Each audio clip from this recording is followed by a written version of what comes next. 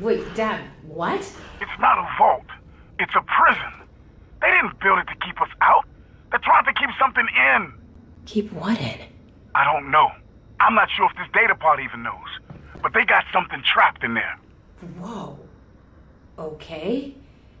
So if it's not a weapon, are we still doing this? The way I see it, whatever's in there doesn't like the Combine very much. So we got that in common. True. So, are we still doing this? We've come this far. I say we keep going. And if you find out it's something we really shouldn't mess with, we'll call it off. That's my girl. I'll let you know what I find out.